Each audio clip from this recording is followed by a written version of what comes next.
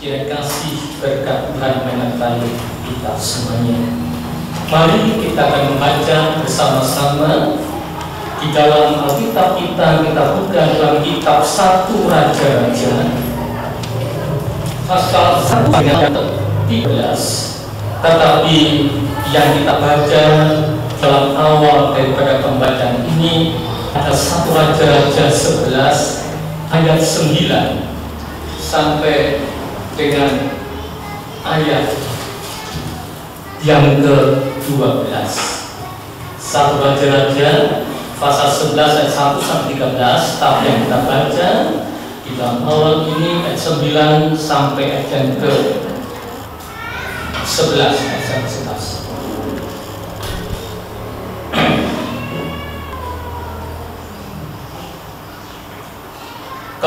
Bapak Ibu sudah, dapat baca tentang kita pada kiri Awal pembacaan ini kita baca bersama-sama. Satu Raja-Raja 11 ayat 9 sampai ke 11 Berbunyi demikian. Dua, tiga. Sebab itu Tuhan menunjukkan murkanya kepada Salomo. Sebab hatinya telah menyimpang daripada Tuhan Allah Israel yang diri kepadanya dan yang telah memerintahkan kepadanya dalam hal ini supaya jangan mengikuti Allah lain akan tetapi ia tidak berpegang padanya diberitakan Tuhan. Lalu berfirmanlah Tuhan kepada Salomo oleh karena begitu kelakuanmu? Yakin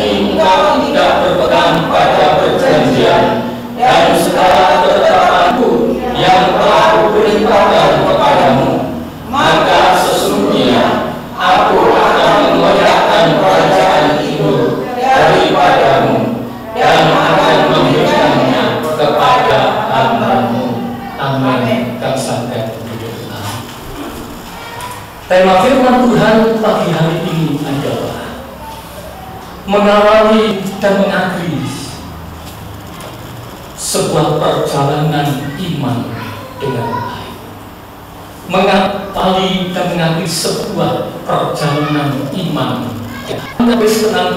adalah langkah iman yang harus kita bisa mengawalinya dan mengakhirinya dengan baik.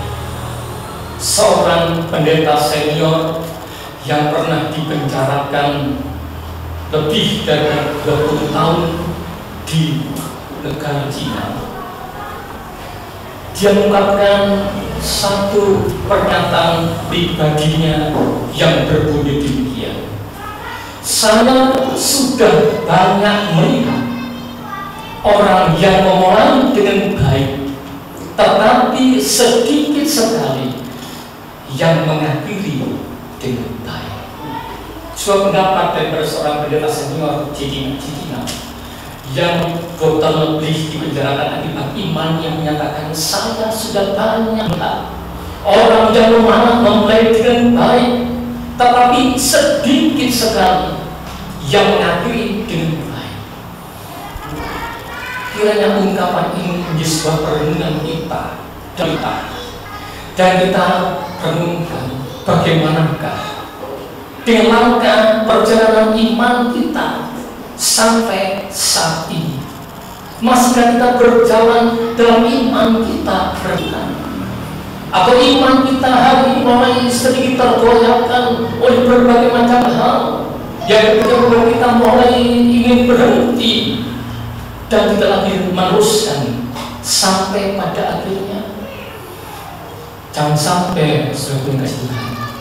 Kita semuanya sudah mengalami langkah perjalanan hidup iman kita dengan baik dan kemudian tidak bisa mengakhiri dengan baik tetapi awallah langkah perjalanan iman dengan baik.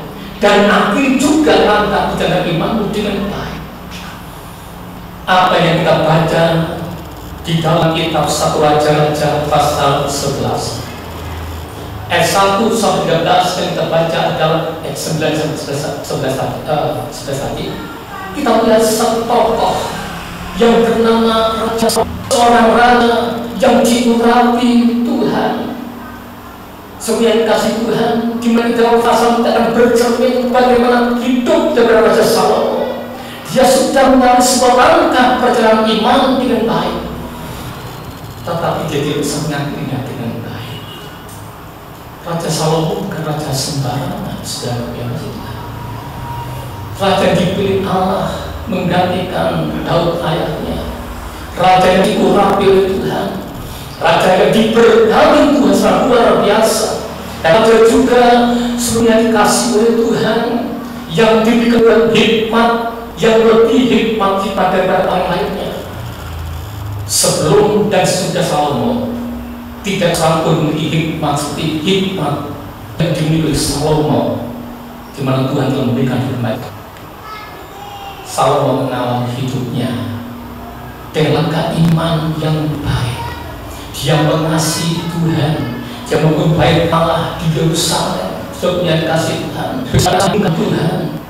Tetapi kita keberhasilan Salomo pada akhirnya membuat Salomo kehilangan. Kasih kesetiaannya pada Tuhan. Pada hari akhir atau pada masa tuanya kalau kita mencatat dia menyimpang daripada firman Tuhan dia mau sebagai Tuhan dia menyembah Allah yang hidup. Dia menyembah pada Allah yang lain Allah yang baru kecil kalau kita lihat Raja Salomo tidak bisa mengakhiri satu perjalanan iman yang baik saat dia sudah berhasil. Sehingga terjadi? Murka Allah datang atas kehidupannya supaya dikasih oleh Tuhan dan kerajaannya pada akhirnya harus dikoyakkan kalau kita membaca dan ayat 9 sebab itu Tuhan menunjukkan murkanya kepada Salomo sebab hatinya telah Tuhan Allah Israel yang telah dua kali menampakkan diri kepadanya dan yang telah memerintahkan kepadanya dalam hal ini supaya jangan mengikuti Allah Allah lain. Akan tetapi ia tidak berpegang pada yang diperintahkan Tuhan. Lalu berfirman Tuhan kepada Salomo oleh karena begitu kelakuanmu yang engkau tidak berpegang pada perjanjianku segala tetapanku yang telah kuperintahkan kepadamu maka sesungguhnya aku akan mengoyakkan kerajaanmu. Kerajaan itu daripadamu dan akan memberikannya kepada hambamu kerajaan yang tadinya Tuhan kokohkan di temannya tapi akibat Salomo tidak bisa mengakhiri perjalanan hidup imannya dengan baik. Dan diserahkan kepada hambanya. Saudara kita lihat betapa seorang Salomo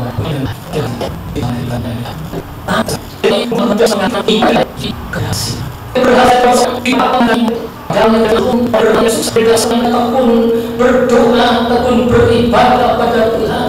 Yang sangat firman Tuhan tetapi ketika dia sudah berhasil menurutnya dan kata jadi orang sukses kesuksesan itulah yang akan membuat seorang bisa menjauhkan dirinya daripada Tuhan dan sekalipun tidak semuanya tetapi sering kali keberhasilan seorang ini membuat seorang kemudian Tuhan mulai kehilangan kasihnya Tuhan dia lagi mengasihi Tuhan tidak lagi bersetia masa dirinya sudah kecukupan semuanya.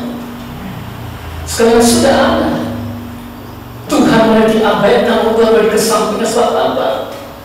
Dia sudah dapat segalanya sudah kasih Tuhan. Keberhasilan Salomo membuat Tuhan tidak ada lagi tempat di dalam hatinya. Saudara, siapa menyimpang jauh dari Tuhan sehingga tetap catat. Ayat ke-9. Jaga Tuhan, mari kita renungkan dan mari kita menjaga hati kita ketika kau sudah diberkati Tuhan, kau jadi orang berhasil, kau jadi orang sukses. Hati-hati. Dan sampai kesuksesan itu membuat Tuhan tidak lagi ada tempat di dalam hatimu, dalam kehidupan, sehingga kau mulai jauh daripada Tuhan. Saudara, kita lihat beberapa ujian terberat yang harus dihadapi oleh seseorang oleh umat Tuhan ketika dia telah mencapai keberhasilan. Ya, ada beberapa ujian berat yang dihadapi oleh umat Tuhan ketika telah mencapai keberhasilan ataupun kesuksesan kehidupannya. Ujian terberat yang pertama adalah ujian kerendahan hati. Ya, ujian kerendahan hati. Dalam konteks ayat ini, kerendahan hati adalah merupakan sebuah ketaatan atau ujian ketaatan kepada Tuhan. Dan satu ujian terberat ketika menjadi seorang yang berhasil. Kita lihat satu raja-raja sebelah sini ayat 1 sampai 2. Satu raja-raja 11 ayat 1 sampai 2. Berbunyi demikian. Adapun Raja Salomo mencintai banyak perempuan asing di samping Amfirton yang mencintai perempuan-perempuan Amon, Edom, Sidon, dan Et. Ayat kedua kita perhatikan padahal tentang bangsa-bangsa itu Tuhan telah berfirman kepada orang Israel janganlah kamu bergaul dengan mereka dan mereka pun janganlah bergaul dengan kamu. Sebab sesungguhnya mereka akan menghadap kepada Allah Allah mereka Hati Salomo telah terpaut kepada mereka dengan cinta. Tuhan bagi saya Bagi saya ada di negeri Kanaan Di negeri Kanaan itu ada berbagai macam bangsa bangsa asing dengan berbagai-bagai macam penyembahan ilah-ilahnya masing-masing. Firman Tuhan kepada umat Tuhan, dan engkau kemudian supaya kasih oleh Tuhan mencintai banyak teman asing. Supaya Tuhan, ya, jangan kau bergaul dengan mereka. Nanti mereka akan mencontohkan hatimu sehingga mereka akan menjauhkan engkau daripada Tuhan firman kepada umat Tuhan itu termasuk kepada Salomo sebagai raja pada itu. Ya, kata kedua pada tentang bangsa-bangsa itu Tuhan telah berfirman kepada mereka jangan kamu bergaul dengan mereka dan mereka pun jangan bergaul dengan kamu. Tapi kita lihat yang pertama ada Raja Salomo mencintai orang. Firman Tuhan tadi berikan Firman Salomo dalam keberhasilan kehilangan kerendahan hatinya di hadapan Tuhan. Kehilangan ketaatan kepada Tuhan. Itu perintah Tuhan, firman Tuhan. Tapi Salomo langgar. Bahwa itu sudah tidak berhasil. Dan lebih membutuhkan firman Tuhan. Dia tahu sebagai Tuhan mencintai, mencintai banyak perempuan asing. Itulah itu saya sebabnya. Salomo tidak bisa mengambil sebuah langkah dengan iman yang dengan saudara. Kehilangan kerendahan hati tidak Tuhan. Banyak umat Tuhan yang sudah berhasil tidak punya satu kerendahan hati. Roh ketaatan kepada Tuhan. Yang ada dalam peduli apa dengan firman Tuhan. Tuhan firman Tuhan bisa disampaikan. Dan seakan tidak di, berguna dalam kehidupannya sebab apa? Dia sudah jadi orang berhasil. Saul merasa berhasil? Nggak lagi mengabaikan firman Tuhan. Nggak lagi ada kerendahan hati untuk mentaati firman Tuhan seperti awalnya. Itu Ratu Tuhan sebagai Raja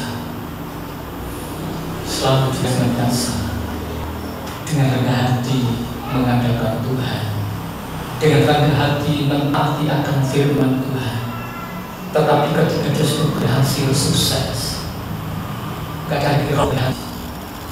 Yang ada roh kesombongan, gak taat firman Tuhan. Dia banyak melanggar perintah Tuhan lihat. Inilah Allah.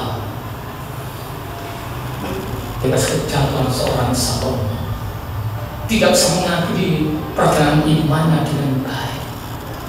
Sudah Tuhan, sudah ingatkan Salomo langkah. Bagaimana dengan kita Mari, mungkin ketika kau masih hidup biasa-biasa saja. Ya, kau masih hidup mungkin pas-pasan. Sampai nanti kau mungkin hidup berhasil sukses, terbika membina roh kerendahan hati. Ketaatan pada Tuhan. Rasa takut pada Tuhan. Yang rendah hati kepada Tuhan. Dan roh yang taat kepada Tuhan dan firman. Roh yang sesuatu akan Tuhan. Dan tidak mau menyumpah dari Tuhan sebab apa? ada kerendahan hati di hadapan Tuhan. Secara Tuhan mau kehidupan kita percaya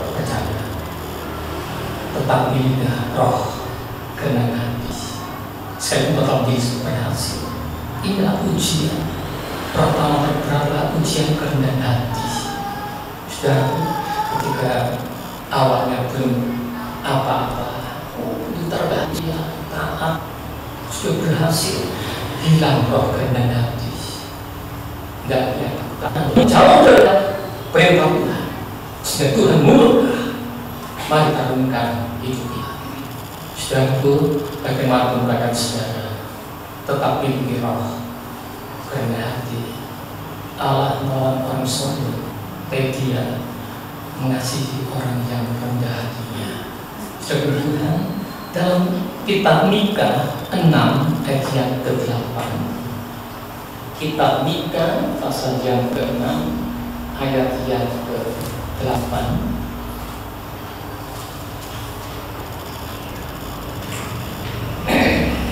berbunyi demikian. Hai manusia telah diberitahukan kepadamu apa yang baik dan apakah yang dituntut Tuhan daripadamu.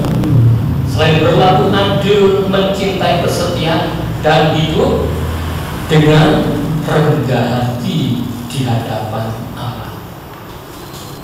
Rendah hati adalah tuntutan Tuhan dalam setiap kita umat dan hati kita tetap bisa hidup dalam ketaatan kita sepenuh kepada Tuhan dan firman-Nya. Saudara, ini ujian terberat ketika saudara sukses berhasil. Kadang-kala kehilangan roh kerendahan hati.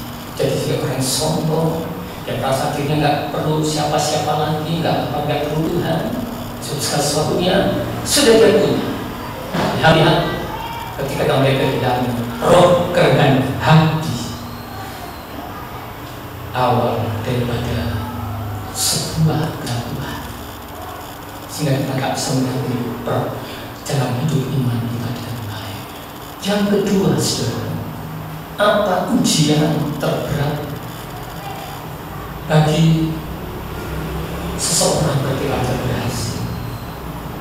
Adalah ujian keinginan daging dan hawa nafsu yang dengan hati kehilangan ketaatan kepada Tuhan yang kedua dan hawa kita kembali ke satu raja-raja pasal yang ke-11 tadi. Ayat yang ketiga.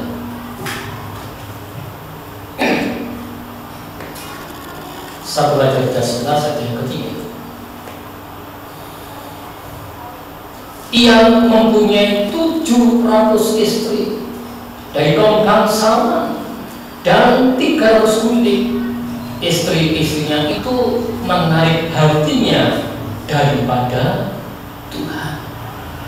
Luar biasa Salomo punya 700 istri 300 kundik artinya Salomo hidup dalam keinginan daging dan hawa sudah ketika dia sudah berhasil dia punya masa kedudukan harta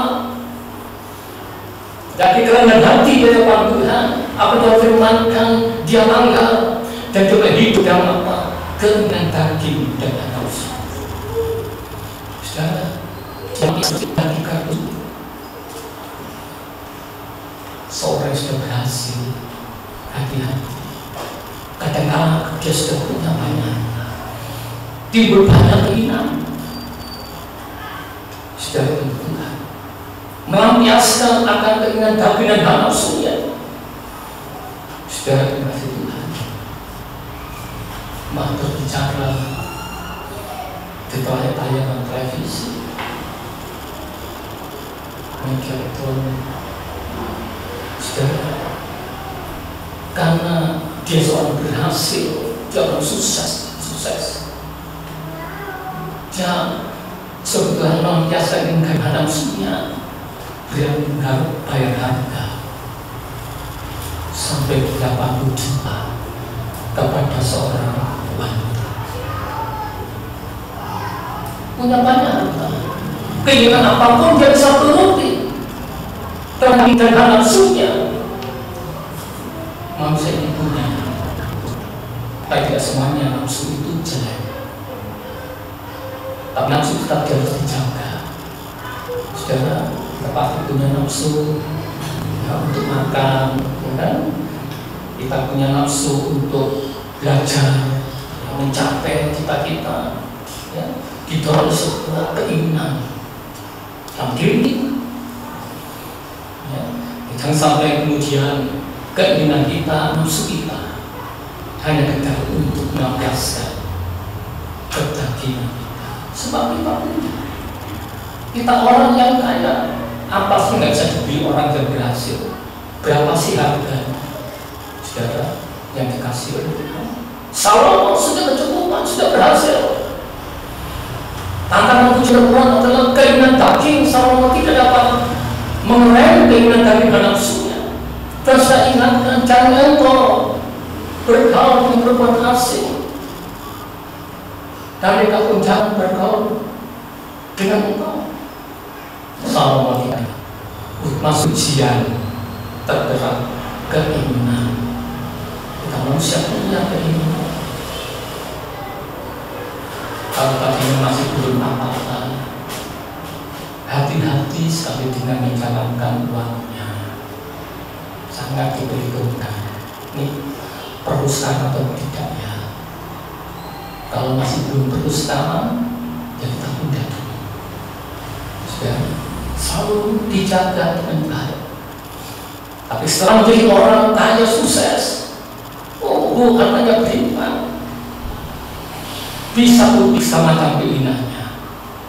Sekali itu nggak butuh, sebenarnya kasih Tuhan, tetap dibeli karena banyak dengan daging manusia. Saya percaya sudah nggak ada punya satu pasang sepatu dan punya. Kira saudara, ya, tapi saya nggak pernah periksa rumah saudara dan sepatu saudara. Tapi pasti ada banyak sepatu saya pun kelihatan baju apa yang hebat saya tidak undangan periksa undangan acara supaya kita tampil beda. Tadinya kalau belum apa-apa ya sudah pakai baju lama saja. Ya kalau sudah punya ya itu hak saudara.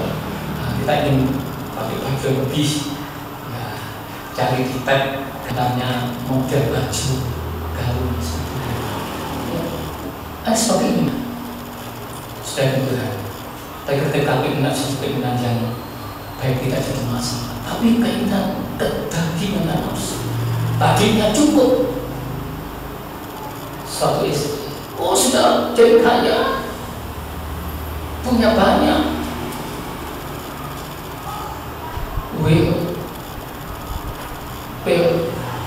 apa lagi sebenarnya macam-macam seperti yang kasih. Sebab apa? Bisa. Salomo dia bisa. Jika dia tidak keinginan dagingnya sudah Tuhan dan itulah ujian terberat dan pada akhirnya mengenai pertanyaan hidup iman yang dengan baik Kolose pasal yang ketiga ayat 5 sampai 6 Kolose 3 5 sampai 6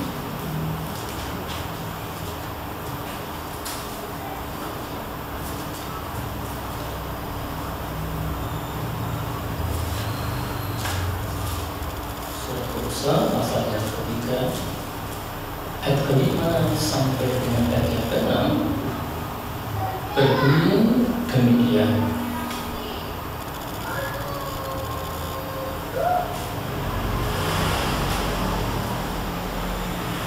Karena itu, matikanlah dalam segala sesuatu yang duniawi, yaitu percabulan, kenajisan, hawa nafsu, nafsu jahat, dan juga keserakahan yang sama dengan penyembahan berhala.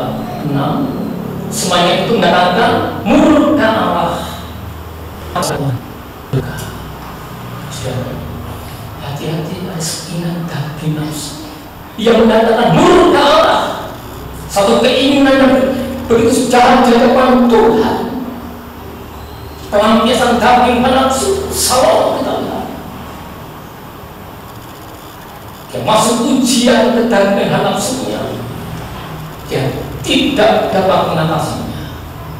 Dia turuti sehingga dia punya 700 istri dan 300 sendiri ayat 9 murka datang atas Saul hati-hati saudara hari-hari ini. Jangan sampai kalau kita sudah berhasil. Tertutup dengan daging nafsu hidup dalam dosa berzina dosa muka minta firman Tuhan keberhasilan. Ada satu hal yang bisa membuat seorang tidak bisa mengambil baik. Yang ketiga, saudara, ujian ada ujian kerendahan hati, ada ujian keinginan daging dan hawa nafsu. Yang ketiga, ujian iman dan kesetiaan. Mari kita membaca satu Raja-Raja 11 tadi ayat 4 sampai 6. Satu Raja-Raja 11 ayat keempat sampai 6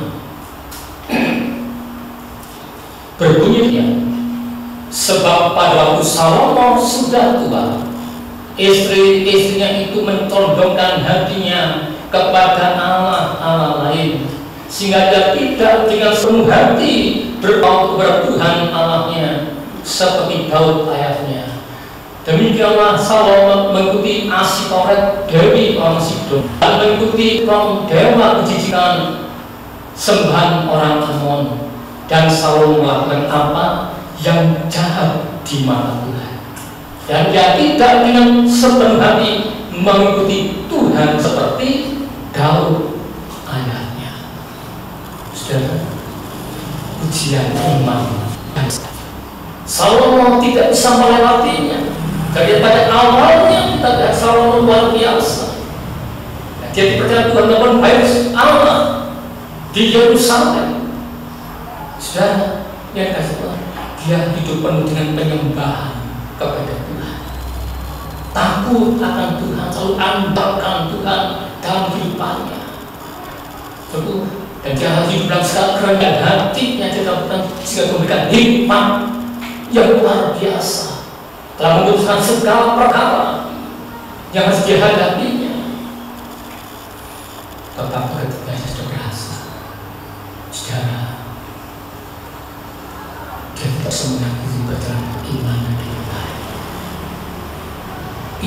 Boleh berubah. Lagi menyembah Tuhan.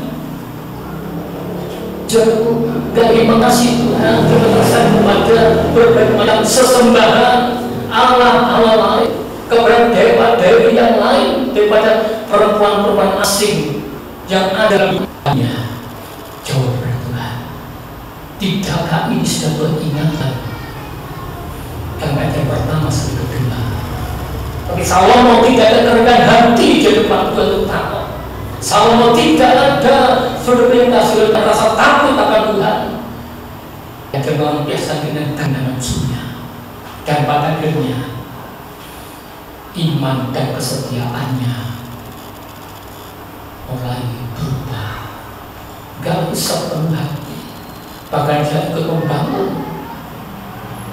ilah-ilah bagi istri-istrinya satu kejahatan yang luar biasa sehingga dikatakan dalam ayat yang ke enam dan apa yang jahat di mata Tuhan.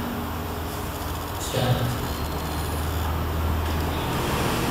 kita lihat banyakkan kegagalan seorang untuk mengakhiri sebuah bagian hidup imannya saat dia mungkin akan hidup. Pas-pasan pada saat dia berhasil maka justru membuat dia mulai kehilangan iman dan kesetiaan. Mulai angkalkan kekuatannya dia mulai hidup dan kemauannya sendiri. Tidak bisa kemudian mentaati perintah Tuhan. Gak ada kerendahan hati. Hidupnya berubah. Iman kesetiaannya mulai lenyap daripada dirinya.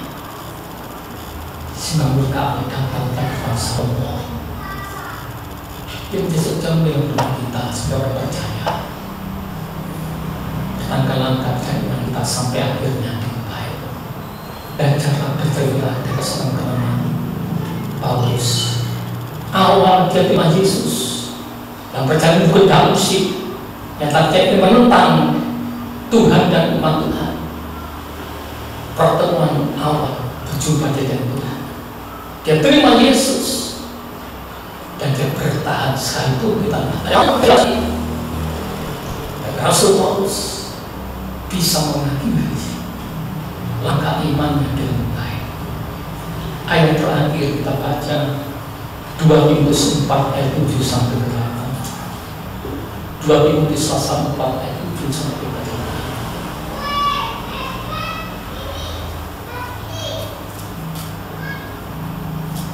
8. Berbunyi demikian. Aku telah mengakhiri pertandingan yang baik Aku telah mencapai garis akhir dan aku telah memelihara iman. Sekarang telah tersedia bagiku mahkota kebenaran yang akan dikaruniakan kepada oleh Tuhan Hakim yang adil pada harinya. Tetapi bukan yang juga berat semua orang yang bukan kedatangan. Akhir hidup hidup iman Rasulullah aku mencapai garis akhir. Aku melihat imanku Rasulullah bisa mengasali, mengakhiri perjalanan imannya dengan baik dan caranya. Saudara, mari kita mau sungguh-sungguh perlukan firman Tuhan. Engkau sedang mengawal iman dengan baik. Akhir juga dengan baik. Bertahan sampai akhirnya ketika dalam masa suka duka, dalam masa kekurangan kelimpahan, tetap tidak berubah tetap punya kerendahan hati tidak menuruti keinginan kaki nafsu. Dan tetap teguh dan iman setia kepada Tuhan. Seorang pemenang ditentukan ya. Bagaimana cara ia mengakhiri sebuah pertandingan dengan baik bukan pada saat dia mengalaminya. Saat dia mengerti dengan baik maka dia tampil sebagai pemenang amin. Tuhan berkati. Mari kita berdoa. Thank you.